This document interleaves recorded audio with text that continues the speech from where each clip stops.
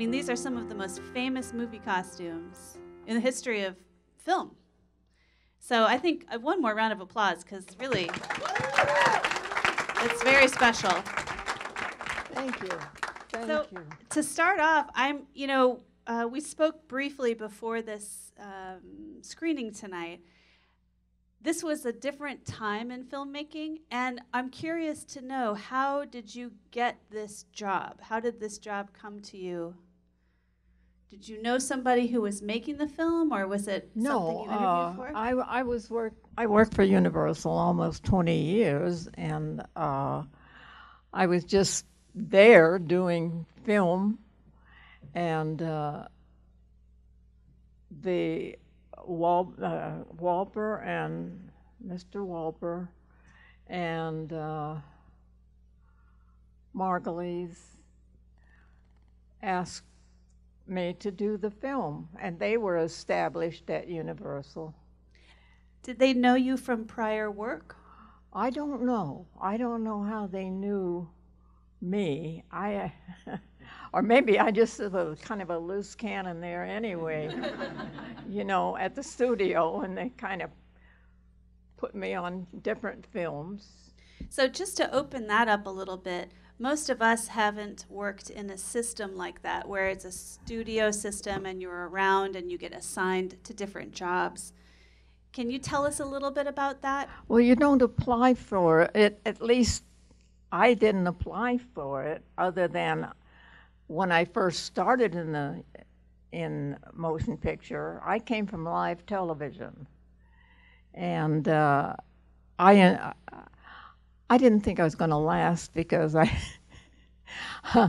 having to do those fast changes uh, behind the scenes, and also one day I had uh, Shirley MacLaine, and she had to be changed on the beat of her music uh, from uh, on 19 uh, let's say 1890 outfit to a 19 something, and then into uh, a leotard, and it had to be on the beat of the music as as the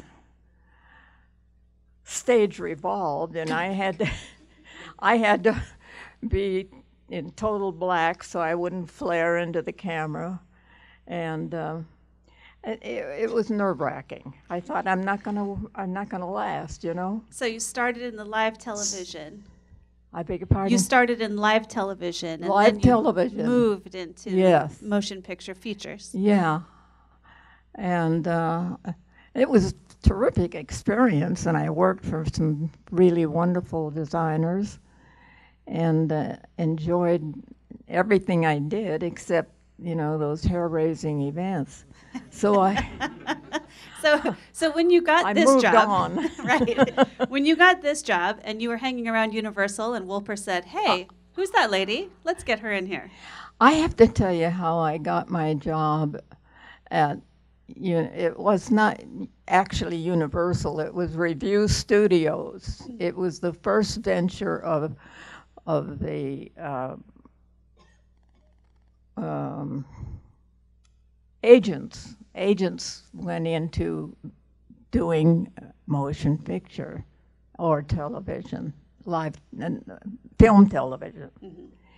And uh, I saw something on the screen one night on a Hitchcock show, one of those hour Hitchcock show, and I thought it was so good. Eh, I, I just thought costumes were the best they'd seen in a long, and they were very ordinary. It was they were just everyday clothing, but it, I saw the name on the screen afterward, and I thought, I'm going to call them up. That guy has got to hear how much I enjoyed that show. And so I called Revue the next day and asked for the people that do Hitchcock, and they turned me on to this guy that handled the costume department. And I said, I just love those costumes. I just thought they were so outstanding. And he said, Who are you? I said, Well, I, I, I just love costumes. I said, I'm actually in live television. And he said, Well, give me your number. We don't, he said, I've got all men every day. We've had series, you know, of just men alone. We don't, I have never had a woman work here, which is true. And they had no women in their films. They were, well, I won't go back to them, but I, they were all male. And uh, the very next day, he called me up and asked me if I knew what a merry widow was, and I said, "Oh, sure." He said, "Well, come in and come in and get Fay Wray one." and that's how I got into motion picture. That's amazing. That's great. And so you know, just a phone call. Right. Yeah. It's take just a chance. opportune. Crazy things happen. Yeah. So when you got that job, Yes. that led to other jobs and led to other jobs, or were you on a contract with a studio? No, you don't have a contract. Okay. At least I didn't. And I, uh, they would kind of loan me. I they I went over to Disney and worked, and then I came back to Revue, and I worked for. Um, uh, Republic. I was on that lot, so I became acquainted with the designer there, and uh, on and on it went. I mean, just one thing after the other. I was very fortunate, Sounds like you worked very hard. but I wasn't designing. You were supervising, yeah? No, Costuming? I was a set person. So how did you ascend? How did that happen? Well, that happened because my I was working for this gentleman that I had uh, complimented his costumes, and he and we got him. Uh, the prop department one day sent a ma- um, a ventriloquist dummy, which this little lovely little lady was supposed to be a princess and Claude Rains was going to be the manipulator, and he falls in love with her. And uh, uh, you got to believe it. Just see it. Anyway, um, they wanted the ga- a gown for her that would work so that he, she could sit on his knee and he could manipulate her. And I, my boss said, "You want the job? Can you do it?" And I said, "Oh, sure." And he didn't believe it. And I had been to art school. I had studied costume and construction and so forth. So I knew how to cut and sew a costume. And I made one for her and decorated it and gave her a little crown and everyone approved and liked it and it worked. And that kind of told him that I did know what I was doing, you know, that I, I had experience as far as schooling had gone. And that's kind of the way I got into designing. So when certain stars came along that wanted, uh, you know, their own wardrobe, uh, I just kind of went on and on from job to job there. At the at the in the sort of the same t- channel of filmmaking, you mean? In the same w- space? Well, there were series and there were, uh, you know, various uh, productions that could use mm, a costume designer. And they weren't really used to that. I mean, uh, as I say, these agents that were running it, um, they didn't really know an awful lot about what went on on, the, you know, So little has changed. but we had to show them. right. so this is this is cool. So you got to the place where you were designing, Yes. and then it sounds like, based on your reputation, which was very good, people called you in and you got work, and you just went for it. It seemed to be, yeah, just a word from him. This That's- person or that person or. That's lovely. I mean, That's a, that's a gift, really, to have work come to you like that. So you must have had a very, very strong reputation. Well, I I was just lucky. Yeah.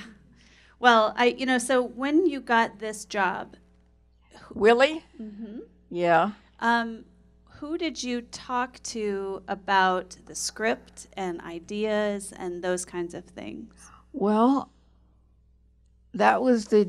Um, they really kind of walked away from it. M- Mr. Um, the Margulies and uh, uh, Wolper, right? yeah, and they called in uh, the writer, the the original, uh, Roald Dahl or somebody else? Screenwriter. the guy that wrote the book. Roald Dahl, yeah. Yeah. hmm and uh, he i had the sketches done by them, and he looked them over and said he liked them and that was it So that you didn't have conversations before you did the sketches about what they kind of thought they might want, or a little bit hmm a little bit but not a whole lot. Uh, i kind of had the feeling that they were just kind of throwing it away you know that they weren't really into it you know? That's like amazing. i was i got into it. Yeah. I loved it. And then um, when it was finished and i showed the uh, margulies and uh, Wolper uh, the sketches and that was it uh, So, how many sketches do you think you created? You know, it's the movie is interesting because it mostly takes place in one day, but there are so many different scenarios within that. How many sketches do you think you did? let's get around to the Oompa Loompas. Yeah, right. I mean, because they have a few looks, and it's that's why I was I was watching the movie again, and I'm like, wow, okay, there's one look, there's two look, there's, a, and you know, it's it's It very was, it was a workout because yeah, by then Mel Stuart, the director, was giving me guidance on, uh, on that, uh-huh. and uh, he put me through the ringer. I didn't really know what he was talking about because at times he would say, I want it to look like that candy, uh, you know, that little caramel thing that goes around. Um, he says, We used to have them in New Jersey, those little candy store. Have it. And I didn't, but I worked at it. And then when I saw it on the screen, um, what were those orange faces and green hair and white eyebrows? What, what was that? What was that? Well, I, What happened? you know, My God. so, so let's talk that about was that. the shock of, of my entire career. I, I've never, I've never been wowed that much. Right. So the movie shot in Germany. Yes, it left, and the, uh, they asked for the sketches, and I had, uh, I was waiting for fittings and castings, and they just called one day and said, "Would you bring up the sketches?" And that was the last I ever heard of this film. Wow. So yeah, so let's let's unpack this a little bit. So so you did the sketches and you Yes. designed the costumes and Yes. they said, mm, "Helen, can you come in for a minute and bring the sketches?" And they took your sketches and they went to Germany and they left you here. The, the director, Mel Stuart, was the only one that when he saw the Oompa Loompas, uh, he started coaching me on the look. So that was his one focus. That was his thing. Uh-huh. And so apparently, when I don't have any understanding of orange faces and Right? green hair, does anybody? No. now, when you sketched out the Oompa Loompas, what color was their skin when you did a sketch? Oh, my sketch was a little. I went back thinking about what I loved as a kid was the Campbell Soup kids. I don't know if anybody remembers that. Yeah, the big heads, big I heads. love those little rosy faces and the little Dutch cuts. And that's what I had a little blonde Dutch cut and a little rosy nose and cheeks, you know, like those Campbell soup kids. I loved them. I, li- I crazy about the look. So when I saw the other, uh, the his Mr. Margulies, uh, or uh, Stuart, when I saw his version, I didn't understand what what caused it. So yeah, so when you saw the movie for the first time, it was really you seeing the costumes that you had designed for the first time. Is that right? Yeah. Yeah. So tell me, tell us about that experience. I mean, you tweak it a little bit, Yeah. but what is it you? I mean, when you saw the movie for the first time, Oh yes. what was your reaction? Well, were you I happy about it, or were you confused, or I I was confused. Yes. Mm-hmm. Uh, but most of all, the sketch the sketches were they were true to the sketch. There were some things that I said, "Oh, yeah, you know, a little fur coat. Oh, Right. that's different."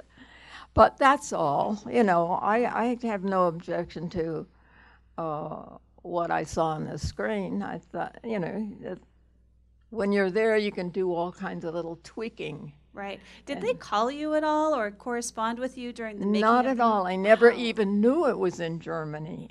I had no idea. That's really crazy. Isn't that bizarre? Yeah, and I and- it kind of hurts because as a designer, this is your baby. you My know? ba- yes, and and I care about you know Yeah. the details. Yeah. That beige bow tie on his neck was so wrong. Yeah. Where do you think those? Somebody changed it. Where do you think the sketches are? Like the original, your ideas. Where do you think those sketches went? What was that? Y- The sketches that you did for these characters. Yes. Do you think the studio still has them, or where do you think they might be? The sketches. The sketches that were left over there, as far as I know, or Uh-huh. they came back and somebody has them. Because don't- I have not seen. I don't know about you guys. I have not seen any sketches from this movie. I want to see them now. Yeah. I mean, No. I think that would be something really fantastic for us to investigate and find. Is are your sketches? That would be interesting. Yeah. Yeah. Although I see that that uniform, uh, Gene Wilder's uniform, was uh, sold at an auction. So those things must have come back.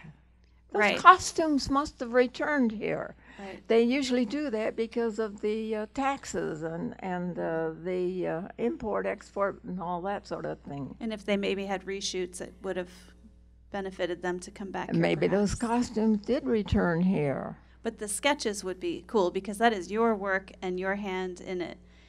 So, all right, sleuths, find them.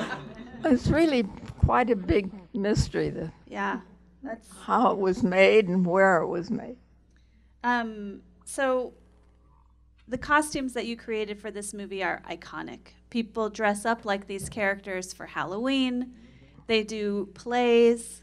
How does that make I've you feel? I've seen some of them on television. Yeah. In you know some of those little contests and stuff. How does that make you feel knowing that you I'm, contributed? I'm complimented. I I think it's great. yeah, it's it's wonderful work. It is. It's, And- for anybody to um, copy you or come close, that is complimentary. So speaking of, when they did the reboot of this movie a number of years back with Johnny Depp, did you see that version of the? Uh, I don't remember the, the exact title. Willy Wonka and the Chocolate Charlie and Chocolate Factory. Did you see the reboot version with Johnny Depp as Willy Wonka, the movie that came out a few years ago? I think I did, but it it vanished. I, I'm pretty sure. Yeah, I was curious, I bet. but it was not not as much fun as this one. Right. I think it's interesting when you are the original designer of this fantastical concept, when they reboot it, it must be incredible to see it. Yes, it is, and and you know, it's kids stuff, and I think kids go with it. I mean, they they get they get into it, and uh, I I they they forgive the green hair and orange faces. They really do. kids kids are wonderful. I'm sure they they they they may get a kick out of it. I don't know from a kid's point, a little kid's point of view, but they they certainly love the movie. Yeah, it's great. Um, so specific questions about the costumes. When you did those illustrations, did they say to you, "We're looking for primary colors," or "We want it to be very poppy," that kind of thing? The the colors did, you know, pop, but uh, mm-hmm. that was not discussed. Actually, very little was discussed. Uh, Mel Stuart was the guy that, you know, got into uh, the Oompa Loompa. I mean, those pom poms on their shoes was the most vital thing in the in our conversation. It was just absorbing.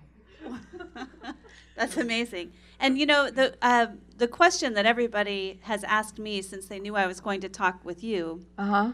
Is how that Violet Beauregarde exploding blueberry costume happened. Yeah, that was uh, that that I did that little two-piece idea because I thought that it would help them in, in the uh, effect. With the belt popping? Yeah, yeah, of blowing up. Actually, it didn't really figure in it at all. Mm-hmm. Well, it made sense, though. I mean, you know, the belt pops, and that's quite dramatic, and then it's another stage of that. And I had an idea that it was the look was storybook. It should be more storybook. Mm-hmm. The, the characters should look like they came from a little kid's book, you know. Mm-hmm. That's my feeling. And I tried to stick with it. Yeah, it carried through well, I think. You know, it has a classic look to it. For a film that was made in the early 70s, it doesn't, you know, hit yeah. you over the head with that early 70s look. So that was very good. Um, I have a million more questions. We could be here all night. uh, the question I have to know is how did you get to work with Hitchcock? How did I get to work with Hitchcock? With Hitchcock? How did that happen? How did that come together? I, well, I worked on this on the TV series at times. However, Mr. Hitchcock was not in charge of that. I mean, he was not there. His representative, Joan, um, forget her name right now, but his assistant was the producer at the time. And uh, a, a very understanding, very lovely woman. And so, did they ask you to do Psycho? How did that happen? Yeah, well, that is an interesting story because Mr. Hitchcock wanted to do a movie, but he wanted to do a movie like we did television, and Paramount didn't want to do it.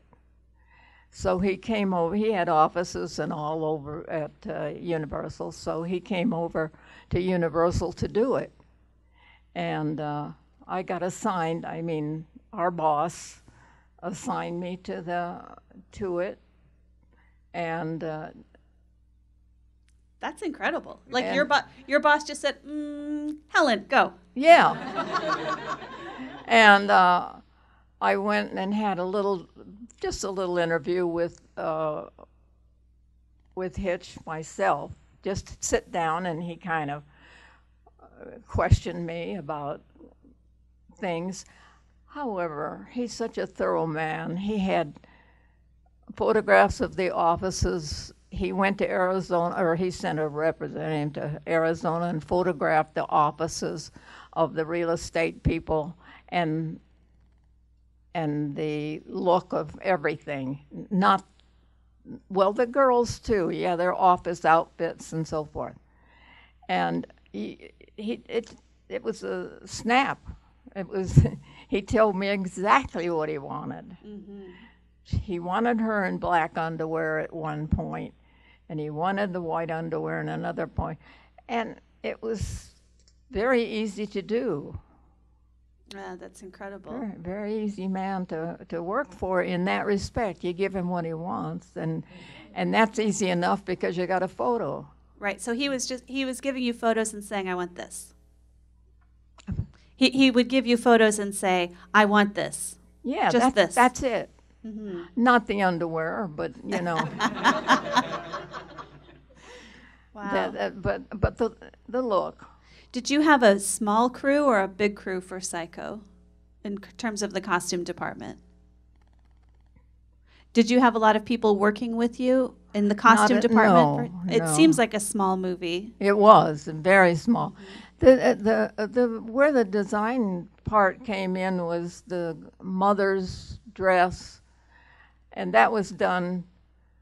I had to make a dress for a man that was the stabber, and dress for Mama, the, the uh, skeleton, a dress for a mi- miniature woman. Uh, She wasn't, I think she was a dwarf. The mother's mother's son came from upstairs downstairs in one scene, and he was carrying his mother. But that had to be uh, a little woman. person, Yeah. So there were costume after costume, big ones, medium ones, small ones, and it all had to be the same outfit, you know, the same old lady costume. And then you also worked with Clint Eastwood as a director, correct? On Play Misty for Me, Clint? Play Misty for me? Mm-hmm. With Clint Eastwood? Yeah. And how, how did you um, hook up working with him? How did you meet? How did that happen? Well, I was assigned to his- movie. they just said, do That's this, thought you were do this. and it just meant, uh, you know, shopping and, or getting modern wardrobe together for the girl.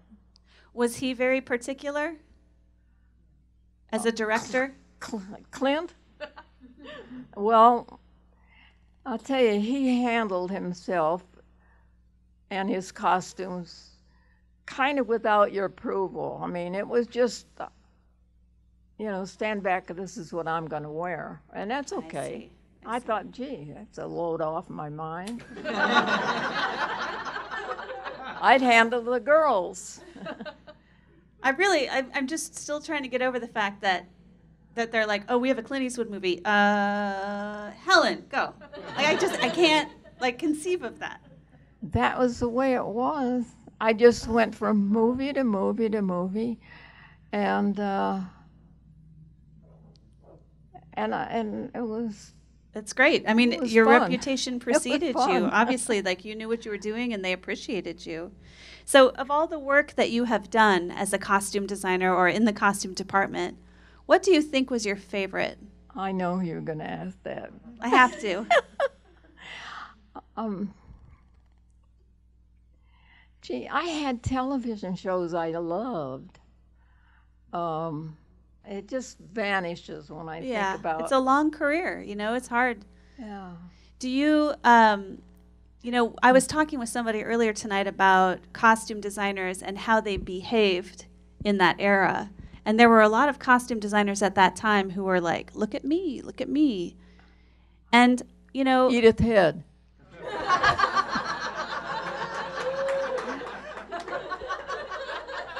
well, I, I think I think she was out front a lot and and loved the publicity and she did well with it. You know.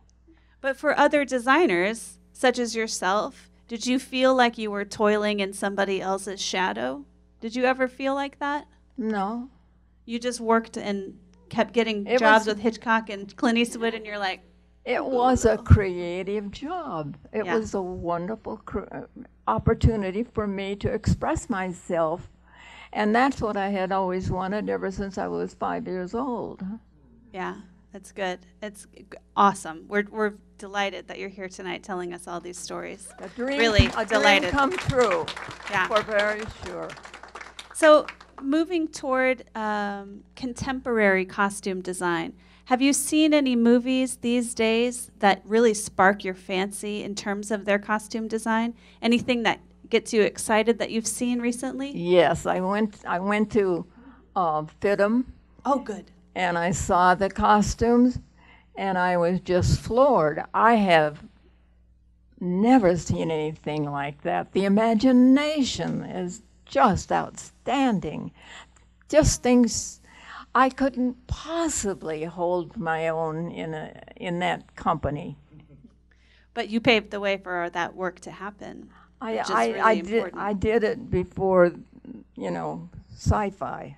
I I got escaped that.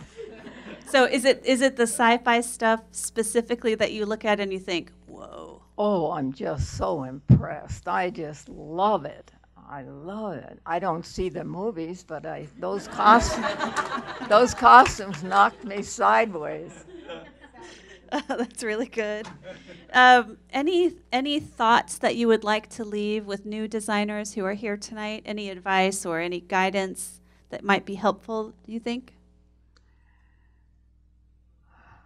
I don't know other than just to love. If you love your work, you'll always be successful. If you enjoy working with people, even difficult people. Yeah, that's a tough one. Yeah, it is. And, And how do you survive? as far as actresses and actors and their likes and wants and dislikes, yeah, you just sort of swing along with it. Mm-hmm. Mm-hmm. So you did a long list of films uh, and television shows. When was there a point in your career where you th- where you thought to yourself, "I think I'm done"? When when when like how everybody retires at some point, but what drove you there? Well, at the end of Centennial, I was done. Centennial, big TV series in the se- late it was a, it took a year to do that, and it was hysterical casting and uh, at, at at five o'clock in the evening, and they shoot the next morning, and you know it that wore me down. That wore me down. I had wonderful Helene to do the sketches, and. Uh, I mean, I had every opportunity to enjoy it, and I did as I went. But the fittings and the and the, I'll tell you, the, I had a little criticism from the set by a, an assistant director, and he told me that uh, uh, they should all have black hats. That that was never well with thousands of actors, you don't, you know, you just can't do it. yeah, and that doesn't sound like it was little, job. little twi- yeah, a little twitching like that Just saying. kind of gets to you after a while. Yeah, I hear you. Um, any more thoughts about um, your favorite memories uh, from the work that you've done? The ma- well, mean- all I, I, the majority and the and the work was a joy. It was fun. I the workroom work uh, was delightful, and most of it was just a good a good way to spend your day. On that note, we are honored to have you, and thank you so much for coming tonight. I mean, this is incredible. Thank you for sharing your stories with us. Yeah, Thank I hope you. I didn't bore anybody. Oh, yes, I'm sorry. Questions from the audience. My bad. yeah. Uh, okay, yes. When you said you didn't like the beige uh, bow tie, that he, that, Oh, that what did, what color was it supposed to be for you? was supposed to be a lovely sort of a. Maybe they thought it was bilious, but I thought a little a kind of a yellow green, and it was um, actually it was t- changeable. Oh, Like a reversible? T- a taffeta, a changeable taffeta from lavender to a green. I thought it was interesting, but they didn't like it, or maybe the cameraman didn't like it, or someone. Sounds like a good Maybe idea. Mel Stuart. In the black shirt, you had a question? Yeah, Go ahead. Mhm. yeah. Sorry, um, could you talk a little more about your ideas for the design of that costume? I'm pretty hard of hearing. Oh, Can you talk more about your ideas for the design of the Willy Wonka And costume? was there, and also for that costume or anything else, given the nature of the movie, could you do any research? And was there research to be done for Willy Wonka? That type of Oh, no, yeah, my dream, as I said, my dream had been uh, like the, like Campbell Soup kids. And they had, what I really want, what I saw was uh, wearing a little um, white toque, like a uh, chef. Because they were guys who were making chocolate things. So I, that's what uh, uh, came to my mind. And uh, it was not Mr. Stuart's idea, I guess. No, it, it came off with green hair and white eyebrows. Uh, yes. Um, you had said, I heard you say you were getting ready for fittings, so obviously you must have had some costumes made here that went to Germany? No, No. no, just- no just- costumes were ever made here. Just my sketches were turned over to the producer, and that was the end of it. I never saw the sketches come back. I didn't see any costumes come back. We've got to find those sketches. Yeah. YouTube will be on it. uh, any other questions? What was it was like working with Marlon Brando? What was it like working with Marlon Brando? Oh, On what? it was okay. He put me through the ringer. Uh, we had, uh, it was a peon outfit, and everybody knows that Mexican peons wear white trousers and white old muslin shirts and pants and sandals. And uh, that was my sketch, and he said, "No, no, no. I want, I want it to be blue." And I said, "It won't work. That's not a peon." He says, "I don't care. I want a blue outfit." And I said, "Blue?" And he said, "Yeah, royal blue." And I thought, well, "What am I going to do?" I went, I, I went back to my boss and I said, he wants a royal blue peon outfit. And he said, there's no such thing. I said, what am I going to do? He says, let's make it for him.